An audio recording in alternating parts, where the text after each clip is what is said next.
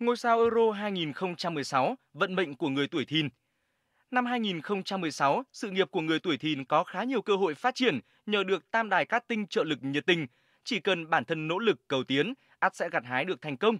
Các ngôi sao Sergio, Juan Mata, Costa, Boateng, Hummels có nhiều cơ hội lập công, công hiến những bàn thắng đẹp mắt cho đội nhà. Năm 2016, sự nghiệp của người tuổi thìn có khá nhiều cơ hội phát triển nhờ được tam đài cát tinh trợ lực nhiệt tình. Chỉ cần bản thân nỗ lực cầu tiến, ắt sẽ gặt hái được thành công. Được lãnh đạo đánh giá cao, thậm chí khen thưởng, chủ động nắm bắt và duy trì các mối quan hệ hữu hảo.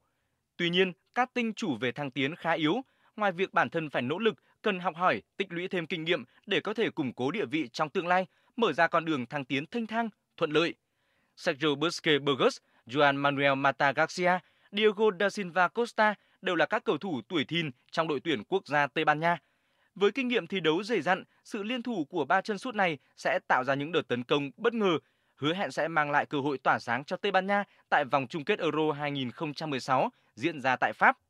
Tuy nhiên, vì sức mạnh của các tinh trợ lực chưa đủ lớn, bản thân các chân sút này phải nỗ lực hơn nữa mới có thể bứt phá thành công, mang về chiến thắng vẻ vang cho đội nhà. Nếu Jerome Aguienim Boateng và Max Julian Hummels không dính chấn thương hay gặp bất cứ sự cố bất ngờ nào, họ sẽ trở thành chủ lực trong hàng phòng ngự của đội tuyển quốc gia Đức tại vòng chung kết Euro năm nay.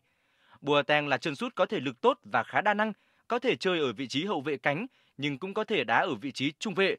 Hummels cũng tương tự, cùng lúc anh có thể đóng vai trò trung vệ, hậu vệ phải hoặc tiền vệ trụ. Với chiều cao 1m91 nổi bật, cộng thêm thể lực sung mãn, khả năng tì đè tốt, Hermes luôn là chân sút nguy hiểm trong những tình huống không chiến. Sự kết hợp nhịp nhàng của bộ đôi này hứa hẹn sẽ tạo ra nhiều cơ hội ghi bàn cho đội tuyển Đức trong mùa giải hấp dẫn nhất hành tinh này.